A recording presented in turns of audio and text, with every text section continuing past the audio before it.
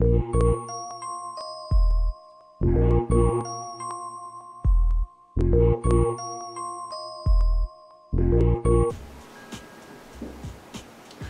what this problem is asking us to do is describe this inequality in spherical. okay, we know rho squared is um,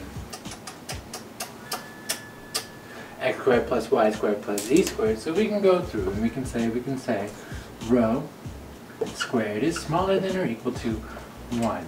Alright, so where do we go from here? I suppose we could split it in two. Take the square root of both sides.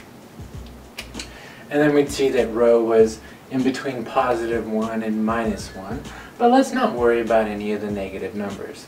Okay? Why? Because we can arbitrarily assume that um, rho is positive. Why? Because we don't have any restrictions on our um, thetas or our phis. So equivalently, we can get all of our negative rhos with, um, what is that, a pi rotation in any one of my revolutions. So we see that rho is going to be smaller than or equal to 1. Alright, what's rho? Rho is the distance away from the origin. Yeah. So we know rho going to be between um, 1 and minus 1.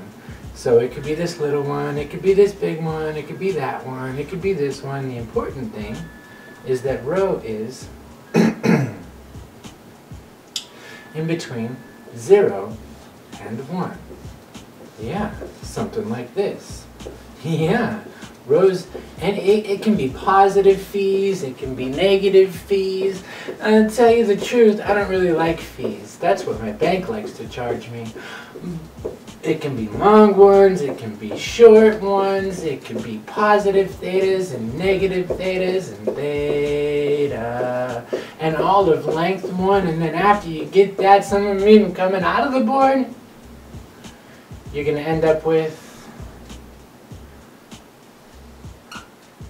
a sphere.